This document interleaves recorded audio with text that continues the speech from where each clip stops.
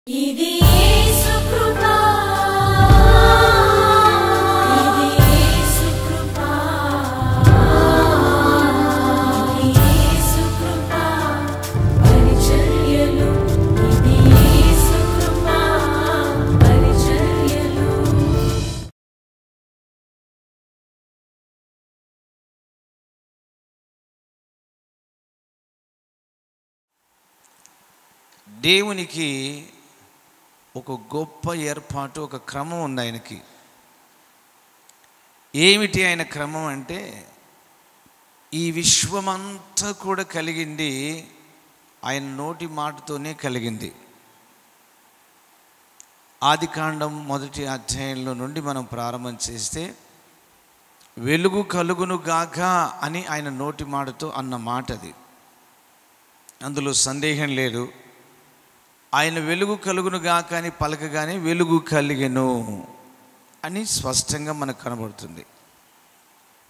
ఏడు దినాలు పరిపూర్ణంగా ఆరు రోజులు ఆయన ఈ లోకాన్ని సృజించి ఏడవ దినాన ఆయన విశ్రమించాడు. ఏడవ దినాన్ని పరిశుద్ధపరిచాడు. ఏడవ దినాన్ని ఆశీర్వదించాడు.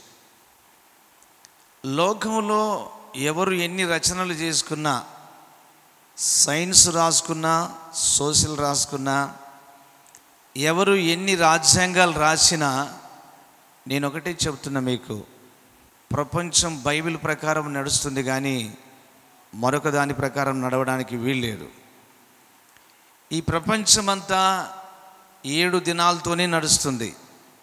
ఈ రోజు వరకు ఆనాటి నుండి సృష్టి ప్రారంభం నుండి సృష్టి యావత్తు అంతా కూడా నడుస్తుంది. ఏడు దినాల మీదనే నడుస్తుంది. కాదు నేను ఇంకొక దినాన్ని పెంచుతానని ఎవరన్నా అంటే నడవదు. అది కాని పని అది జరగని పని. మనం ప్రతిదీ కూడా ఆలోచించాలి. క్రైస్తవులుగా బైబిల్లో ఉన్న సత్యాలను సమయమందు అసమయమందు ధ్యానం చేస్తూ ఎందుకు దేవుడు ఈ బైబిల్ మనకిచ్చాడు? ఎందుకు నా మాట వినండి నా మాట వినండి నా మాట వినండి అంటున్నాడు? ఎందుకు ఇంతగా ఆయన మనకు చెబుతున్నాడు? మనం ఒక ప్రశ్న వేసుకుందాం. మానవ జాతి మాట వినే రకమా వినని రకమా? మానవ జాతి మాట వినే రకమా వినకుండా ప్రవర్తించే రకమా? మానవ జాతి పిల్లలు తల్లిదండ్రులు అంటే అంటారు కదా నా మాట ఎందుకే నువ్వు వినవు నేను చెప్పిన మాట ఎందుకే నువ్వు వినవని తల్లి బిడ్డను అడుగుతుంది. తల్లిదండ్రులు కొడుకుని అడుగుతారు ఏమిరా చెప్పిన మాట వినవు అన్నవాడు వినడన్నా వాడు వినడు. వినని వాడు బాగుపడతాడా చెడిపోతాడా చెప్పండి? తల్లిదండ్రులు ఏమైనా తప్పు చెప్తారా పిల్లలకి? వేడుక? పిల్లల మీద ఏమైనా ద్వేషమా? పిల్లల మీద ఏమైనా ఈర్ష్య? తల్లిదండ్రులకు అనుభవాలు ఉన్నాయి పిల్లలకు అనుభవాలు లేవు. అందుకే నా మాట విను నా మాట విను. ఈ మానవ జాతి మాట వినే రకం కాదు. పక్షి జాతి ఉంది చూసారా? జంతువు జాతి ఉంది చూసారా? సమస్త జాతులు భూమి మీద ఉన్నాయి మానవుడు కాకుండా. వెరీ సింపుల్గా చెప్తా. బైబిల్లో యోనా కథ ఎంతమందికి తెలుసు? యోనా గారి కథ ఎంతమందికి తెలుసు? ఏం చెప్పాడు యోనాకు? కట్టెలు నరకమన్నాడా కొండలు పిండి చేయమన్నాడా? లేకపోతే భూమి త్రొవి ఖనిజాలు తీసుకురా అన్నాడా? ఒరే నాయనా నీనివే పట్టణం పాడైపోతుంది బాబు. ఒక లక్ష ఇరవై వేల మంది కంటే ఎక్కువ జనం నాశనం అయిపోతున్నారు. ఆరని నిత్య నరకాగ్నికి వెళ్ళిపోతారు వాళ్ళు నైనా నా కుమారుడా నన్ను ఎరిగిన వాడివయ్యా నువ్వు. సృష్టికర్త అయిన దేవుని ప్రేమను తెలిసిన వాడివయ్యా నువ్వు తెలియని వాడివి కాదు. దేవుని ప్రేమను ఎరిగిన వాడివి దేవుని గురించి తెలిసిన వాడివి కాబట్టి నువ్వైతే వాళ్ళకు బాగా చెప్తావయ్యా. నువ్వు వెళ్ళి చెప్పు నాయనా అని చెప్పాడు. ఇక్కడేమో సరే అన్నాడు విన్నాడు ఇక్కడ. అంటే సరే అన్నట్టుగా. నీనివే పట్టణానికి వెళ్ళవలసిన ఈ మనిషి టికెట్ మార్చాడు టికెట్. ఏం మార్చాడు? పడవ మార్చాడు టికెట్ మార్చాడు. మనం కూడా మారుస్తూ ఉంటాం. పుస్తకాలు కాలేజీలోనే ఉంటాయి. మనం ఎక్కడ ఉంటామో తెలుసు. నేను కాలేజ్ లైఫ్ నాకు లేదు. మళ్ళీ నేను చెబుతున్నానని ఏ కాలేజీ చదువుకున్నావు అన్న? ఒక కుర్రోడే ఉంటాడు అక్కడ. ఆనంద్ అంటే ఆడ ఆనంద్ ఉన్నాడు. ఇక్కడ ఉండేది వెంకటేష్ ఉంటాడు. ఎస్ సార్ అంటాడు. అంటే ఆనంద్ పేరు వీడియో పలికింటాడు అక్కడ. ఎస్ మేడం అని అంటాడు. వాళ్ళని చూసేదే పెట్టేదా? ఎస్ డౌన్. ప్రజెంట్ వేసేస్తారు. నష్టపోయేది ఎవరండి? నష్టపోయేది ఎవరు? తెలుసు ఆ విషయం? ఎరుగుదు ఆ విషయం? సృష్టికర్త అయిన దేవుడు మనకు నిజమైన తండ్రి. షోనా నువ్వు వెళ్ళయ్యా వెళ్ళి ప్రకటించు నేను చూసుకుంటా అన్నాడు. ఏమి చెప్పకుండా తార్సిస్ వెళ్ళే ఓడ ఎక్కి పడుకున్నాడు. టికెట్ తీసుకొని వెళ్ళమనింది నీనివేకి వెళుతున్నది తార్సిస్కి. నేను ఆశ్చర్యపోతాను. బైబిల్ స్టోరీస్ నేను చదివేటప్పుడు సరిగ్గా నలభై ఏండ్లు దాటిపోతా ఉంది నేను బైబిల్ చదువుకుంటున్నాను. నలభై ఏండ్ల నుండి ఎన్నిసార్లు చదివినా తనివి తీరని చరిత్రలు ఉన్నాయి బైబిల్లో. క్రొత్తగానే ఉంటాయి. ఏకి శుభ్రంగా ఆ ఓడ దిగువ బాగాన పండుకున్నాడు. దేవుడు ఊరుకుంటాడే చెప్పండి? మాట వినని వ్యక్తి అందులో పరిచయమైన వ్యక్తి మనిషి. దేవుడు అంటే ఏంటో తెలిసి మనిషికి దేవుని ప్రేమ తెలుసు దేవుని వాత్సల్యత తెలుసు యహోవా దేవుడి భక్తుడునని తెలుసు. సముద్రం చెలరేగింది. మీరు ఇప్పుడు చెప్పండి సముద్రాలు ఎందుకు చెలరేగుతాయి? లైలా తుఫాను ఒకటంట సుడిగుండము లేచింది ఒకదానికంట వాయుగుండము లేచింది ఇంకొక దానికంట బంగాళాఖాతములో వాయుగుండము లేచింది. నేను మనుషులకు వాయు లేయడం చూశాను కానీ సముద్రాలకు కూడా వాయు లేస్తుందంటే దీనికి ఏ ఇంజెక్షన్ వేయాలో ఆ దేవుడికే తెలుసు.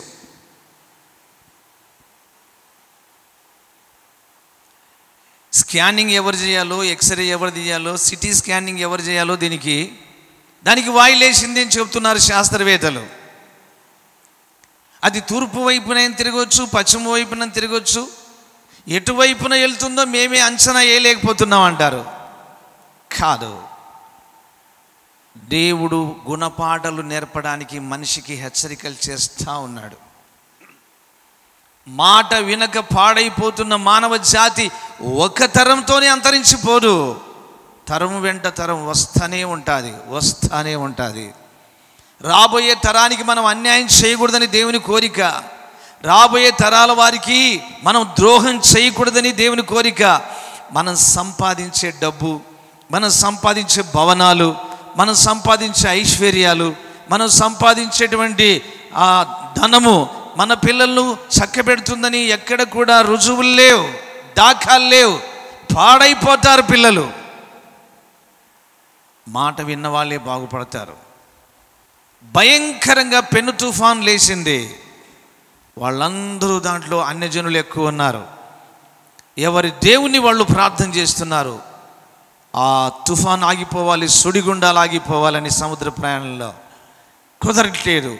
వారు తినే ఆహార వస్తువులు కూడా బరువు తగ్గిద్దామని అన్నీ కూడా తీసి సముద్రంలో పడేశారు. కుదరట్లేదు. ఈ మనిషి అడుగు భాగమున నిద్రపోతున్నాడు. వెళ్ళి ఆ మనిషిని ఏమని పలకరించారో తెలుసా? అయ్యా పాస్టర్ గారు అన్నారా? ఒరి నిద్రపోతా. నిద్రపోతా. నీకేమొచ్చిందయ్యా? మనిషి ఏమయ్యాడో చెప్పండి ఇప్పుడు? మనిషి ఏమయ్యాడు? సోమరిపోతూ నిద్రపోతూ త్రాగుడుపోతూ. అంటే బిరుదులా ఇవి? సోనియా గాంధీ రాజీవ్ గాంధీ సంజయ్ గాంధీ లాగా ఏమైనా బిరుదులా? పోతూ పోతూ. అది జంతువులకు ఉండేటువంటి పేరు. వెంటనే లెగ్గొట్టారు. నాశనం అయిపోతుంటే పండుకొని నిద్రపోతామేమయ్యా నీ అజ్ఞానం పాడుగాను. నీ దేవుడెవరో నీ దేశం ఏంటో నీ జాతి ఏంటో నీ ప్రయాణం ఏంటో ఎక్కడికి వెళ్తున్నావో ఏ వ్యాపారంలో వెళ్తున్నావో చెప్పయ్యా ఒకసారి ఎవరు? వాళ్ళు ప్రార్థన చేస్తుంటే తగ్గిపోవడం లేదు. తగ్గదు. ఎవరు ఎన్ని పూజలు చేసినా ఎన్ని జపతపాలు చేసినా తగ్గదు. బైబిల్ చట్టం అది. బైబిల్ చట్టం. సృష్టి నిమ్మలించాలంటే దేవుని వాక్యం మానవుడు వినాలి. సృష్టి నిమ్మలం పొందుకోవాలి సృష్టిలో తెగుళ్ళు అణిగిపోవాలి సృష్టిలో వ్యాధులు అణిగిపోవాలంటే దేవుని మాట విన్న దేశము తప్పకుండా బాగుపడుతుంది. దేవుని మాట విన్న ప్రజలు తప్పకుండా బాగుపడతారు. మై ఎక్స్పీరియన్స్ నా అనుభవాలతో చెప్తున్నా దేవుని మాట ఎవడు వింటాడో ఎవడైనా పర్వాలేదు. ఏ తల్లి అయినా పర్వాలేదు. చదువు వచ్చినా చదువు రాకపోయినా కులముతో మతముతో సంబంధం లేదు ఆయనకి. దేవుని మాట వినే వ్యక్తి కావాలి. నీ జీవితంలో కూడా దేవుని ప్రసంగాలు విని అనుదిన జీవితంలో నువ్వేం చేస్తున్నావో చూసుకోవాలి. దేవుని వాక్యానుసారంగా జీవిస్తున్నావా? వాక్యాన్ని ప్రక్కన పెట్టి సొంత బుద్ధిని ఆధారం చేసుకొని జీవిస్తున్నావా? అయితే నీకు నీవే శ్రమలు తెచ్చుకుంటావు. నీకు నీవే కష్టాలు తెచ్చుకుంటావు. నీ పిల్లలకి అన్యాయం చేస్తావు. ఇది ఖచ్చితంగా నువ్వు గ్రహించాల్సిన విషయం. యోనా లేచి అంటాడు నేను సర్వోన్నతుడైన ఆకాశానికి భూమికి సృష్టికర్తైన యహోవా దేవుని భక్తుడను నేను. నేను వ్యాపారస్తుని కాదు ఉద్యోగస్తుని కాదు వ్యవసాయకుని కాదు. నేను యహోవా దేవుని యొక్క భక్తుడను. సృష్టికర్త భక్తుడును. అరే బాబు ప్రార్థన చేయను ఆయన అంటే ప్రార్థన చేసినా ఏం చేసినా ఇప్పుడు కుదరదు. మాట ధిక్కరించిన వాడు ప్రార్థన చేస్తే కుదురుతుందా? తెలిసిపోయింది. కుదరదు. మరి ఏం చేయాలి? ఏం చేసేది ఏం లేదు. నన్ను ఎత్తి సముద్రంలో పడేయండి. నన్ను ఎత్తి సముద్రంలో పడేయండి. ఎంత త్యాగశీలో చూసారా మీరు బాగుంటారు. నన్ను పడేయండి. వాళ్ళు భయపడి ఉద్రబాబు బాబు ఈ కీడు ఎవరి వలన సంభవించిందో తెలుసుకుందామని చీటీలు వేశారంట పేర్లు రాసి చీటీలు వేశారట సరిగ్గా అన్ని వందల మంది ఆ ఓడలో ప్రయాణం చేస్తుంటే యోనా పేరు మీదనే వచ్చిందంట. చప్పట్లు కొట్టండి.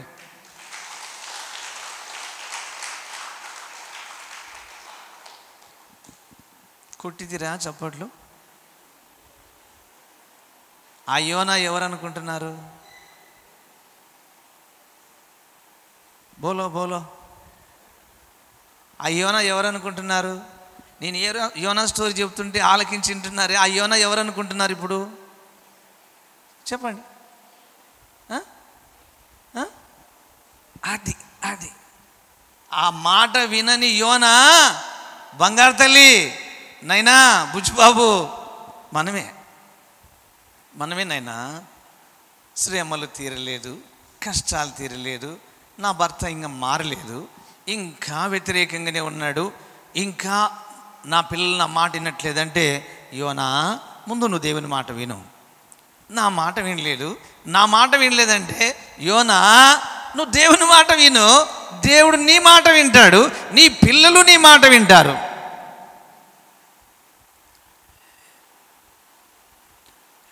యోనా పేరు మీదనే వచ్చిందట. కళ్ళు మూసుకున్నారు భయపడి భయపడి ఎత్తి సముద్రంలో పడేశారు. వాళ్ళు అనుకున్నారు చాప్టర్ క్లోజ్ అనుకున్నారు వేసిన వాళ్ళు. సముద్రంలో వేస్తే ఇంకేముంది? ఈ లోపల వీళ్ళు మాట్లాడుకుంటూ ఉంటే దేవుడు తిమింగిలంతో మాట్లాడుతున్నాడు. స్తోత్రం స్తోత్రం. వీళ్ళు మాట్లాడుకుంటున్నారు ఇక్కడ. యోనాను యోనా ఎంత త్యాగశీలి ఎంత మంచి విశ్వాసం చూడండి. అందుకే చాలామంది సావుకు తెగిస్తారు. దేవుని మాట వినరు కానీ చావుకు తెగిస్తారు ఏకంగా. దేవుడు తిమింగులతో మాట్లాడుతున్నాడు. యోనాను ఇప్పుడు పడేస్తారు సముద్రంలో. నువ్వు మృంగేసేయి మూడు రోజులు జాగ్రత్తగా పెట్టుకో కడుపులో. నీ లోపల ఉన్నటువంటి జీర్ణాశయమును నేను చూసుకుంటా. నీ ఆకలిని నేను చూసుకుంటా. కొంచెము తేడా యోనాకు వచ్చి నీ దగ్గర ఉన్న ముళ్ళు గీసుకున్న వాడెవడో కాదు నా కొడుకు. తిమింగిలమా? బి కేర్ఫుల్ నువ్వు అన్ని మూడు రోజులు జాగ్రత్తలో ఉండాలి. మూడు దినాలు నీకు ఆజ్ఞాపిస్తున్నా కడుపులో పెట్టుకో కడుపులో పెట్టుకో. తిమింగలం శిరస్సు వంచింది దేవునికి. ఎస్ లాడ్ ఎస్ నేను నీ మాట వలన కలిగాను. జలములు తమ తమ జాతుల ప్రకారము జలచరములను పుట్టించును గాక అని ఐదవ దినాన మీరు పలికిన ఆ మాటను ఆ మాట ప్రకారం నేను పుట్టానయ్యా. నీ మాటకి నేను లోబడతాను. నీ మాటకు నేను లోబడతానయ్యా. శిరస్సు వంచింది తిమింగలం. యోనా శిరస్సు వంచలేదు. యోనా దేవుని మాట వినలేడు. తిమింగలం వెళ్ళి నోరు తెలుసుకుని సిద్ధంగా ఉంది. ఎక్కడ ఓడ? ఎక్కడ తిమింగలం? సమీపానికి తీసుకొని వచ్చాడు. సరిగ్గా వాళ్ళు ఎత్తి సముద్రంలో వేసే లోపల సరాసరి తిమింగలం యొక్క నోటి కడుపులోకి వెళ్ళిపోయాడు. ఎంత ఉంటుంది అనుకుంటున్నారు మీరు తిమింగలం అంటే? మన చర్చ్ అంతా. నోరు ఓపెన్ చేస్తే నంద్యాల లోపలికి పోతుంది.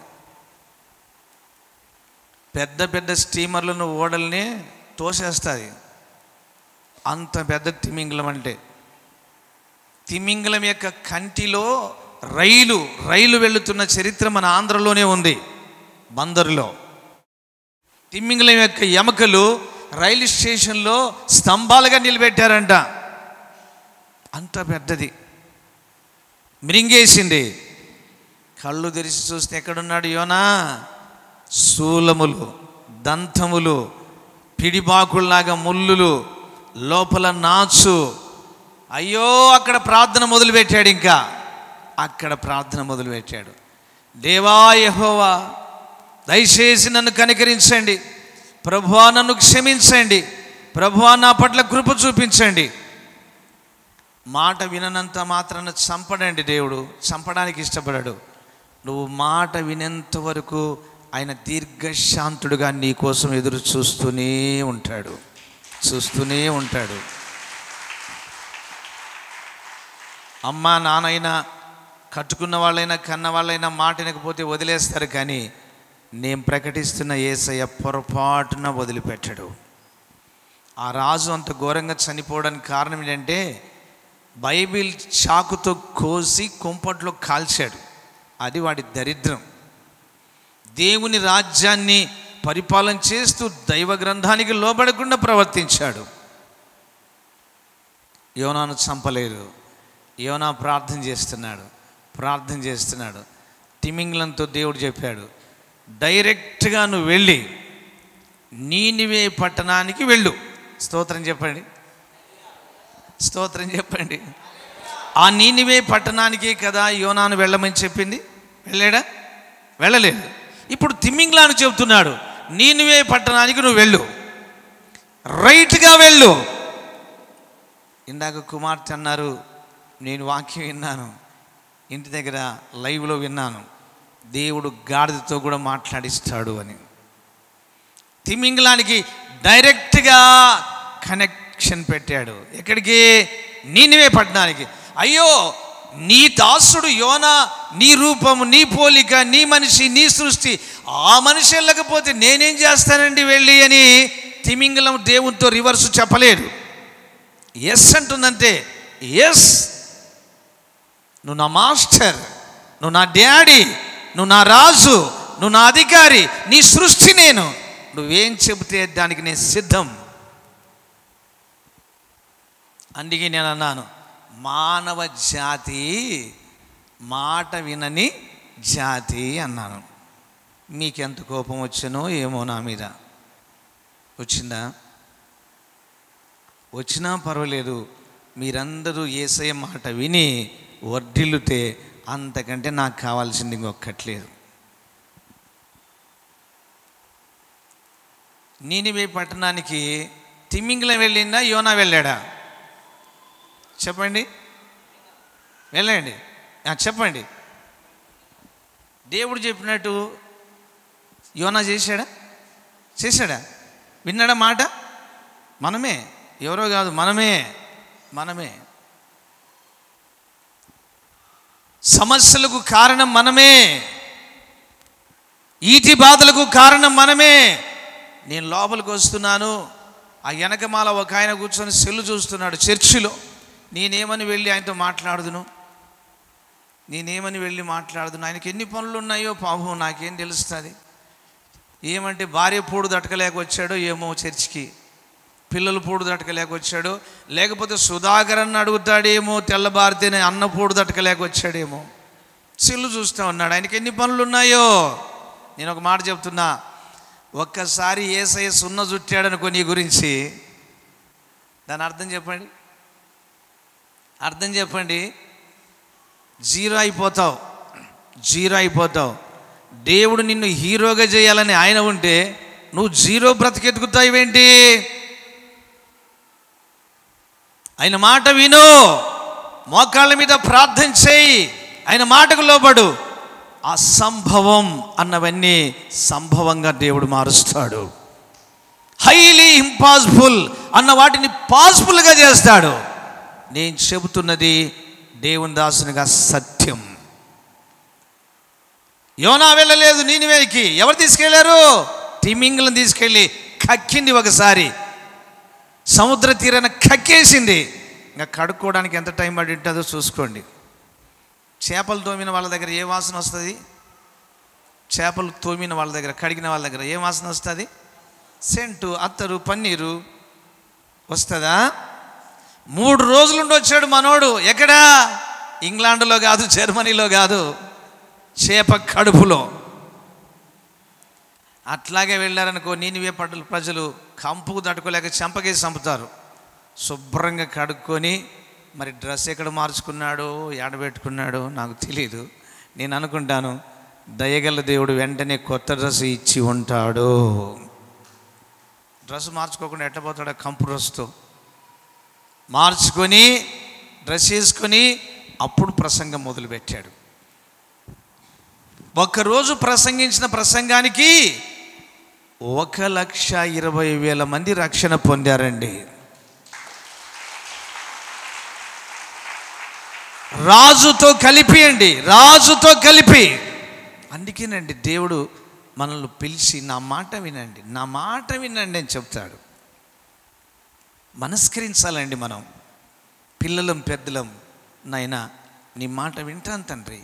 నీ మాటకు లోబడతా. నా సొంత నిర్ణయాలు ఏమొద్దు ప్రభు? నువ్వు చెప్పినట్టు నేను నడుచుకుంటా. ఆయన చెప్పినట్టు నడుచుకో. ఆయన చేయకపోతే ఆయన మీద బాగా బాధపడు. ఏందయ్యా నువ్వు చెప్పినట్టు నేను చేశాను కదా నాకెందుకు ఇలా? నాకెందుకయ్యా ఇలా? అని అడుగుదాం. వాళ్ళు చెప్పిన మాట వీళ్ళు చెప్పిన మాట వాళ్ళు చెప్పిన మాట వీళ్ళు చెప్పిన మాట బంధువులు చెప్పిన మాట స్నేహితులు చెప్పిన మాట ఆ మాట ఈ మాట పూజారి మాట అయ్యే మాట కొయ్య మాట ఈ మాటలలో వినుకుంటూ మన భారతదేశం అయితే మరీ విచిత్రం. పొయ్యి గడ్డలు పెట్టాలంటే అయ్యే చెప్పాలా. అయ్యే చెప్పిన మాటని పొయ్యి గడ్డలు పెట్టాలా. అయ్యే చెప్పిన మాట విని పాలు పొంగించాలా. నా దగ్గరికి ఒక ఆమె ఒక ఆమె చాలామంది వస్తారు కొంతమంది తెలియని వాళ్ళు. అన్న కొత్త ఇల్లు ఓపెన్ చేయనీకి వస్తున్నావు కదా కొత్త ఇల్లు ఓపెన్ చేయనీకి వస్తున్నావు కదా అన్న. ఇంట్లో పాలు పొంగిస్తామన్నా పాలు పొంగిస్తాం. పొంగించవచ్చా అని అడుగుతారు నన్ను. పొంగినేటివి ఏమైపోతాయి చెప్పండి? అర్థం చెప్పండి మీరు చెప్పండి. పొంగినేటివి ఏమైపోతాయి? వీళ్ళు ఒక అర్థం చేసుకుంటున్నారు. పాలు పొంగినట్టుగా సంసారం పొంగుతుందంట. కొత్త ఇంట్లో పొంగిస్తే. ఎవరు చెప్పాడు? అష్ట దరిద్రుడు. అంతే కదండి? పొంగినేటివి ఏమైపోతాయండి? పొయ్యి పాలైపోతాయి. నేను చెప్తాను. మౌనంగా వెళ్ళి భార్య భర్త పిల్లలు బైబిల్ ఇంట్లో పెట్టి మోకాళ్ళని ప్రార్థన చేసుకొని బైబిల్ ఇంట్లో పెట్టిరండి. పొంగినేటివి పొయ్యి పాలైపోతాయి. అంటే నీ సంసారం పొయ్యి పాలైపోవడం నీకు ఇష్టమా నేను అడుగుతాను. అమ్మా నాకు తెలియదే. కూటి కోసం కోటి విద్యలు.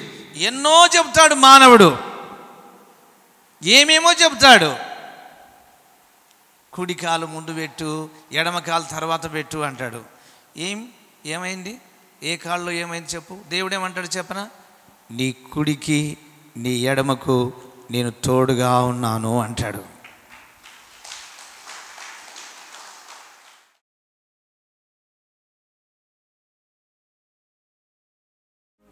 నాయనా కృపగల తండ్రి దయగల దేవా అతి కార్యం చేయనైనా తిమింగలము నీ మాట వినెను కదా ప్రభా.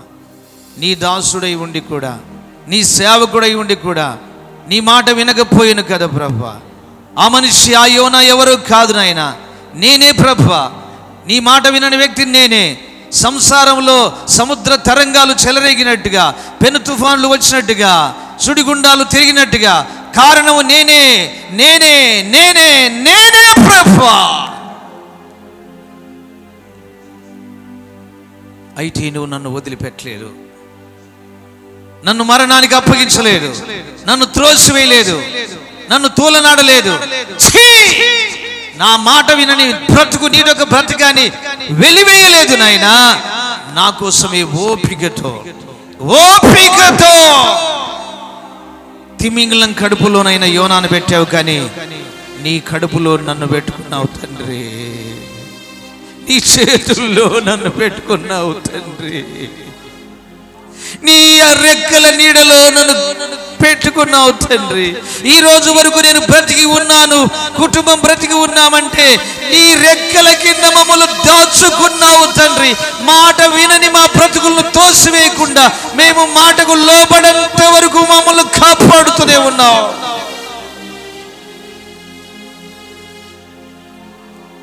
మా పొరపాట్లన్నింటినీ క్షమించి. ఇక నుండి నీ మాట విని నీ మాట ప్రకారం జీవించే జీవితం మాకు దయచి ఏసయ్య నామంలో వేడుచున్నాం పరమ తండ్రి ఆమెన్.